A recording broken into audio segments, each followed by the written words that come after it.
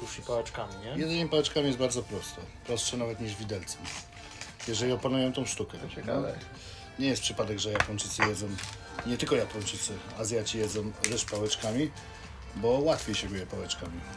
To jest bardzo proste. Łamiemy pałeczki i tak. Nie no, żartuję oczywiście. Jeżeli umiemy trzymać długopis, to będziemy e, też umieli jakby jeść pałeczkami, no bo długopis trzymamy mniej więcej tak, w ten sposób. Jak piszemy sobie to tak, ale tu opieramy o ten drugi palec. Tak, żebyśmy ten mieli wolny. Ta pałeczka ma być sztywna. Możemy sobie zrobić tu ją oprzeć nawet, żeby nam nie latała, prawda? A drugą bierzemy na wysokość, łapiemy tu i już jest, już jest. I tylko jedna pałeczka pracuje, ta górna, nie? Sobie wyżej, nie ma problemu. To dobrze wiedzieć, że pracujemy tylko jedną. Technika, Tak, czyli zawodnika. dokładnie.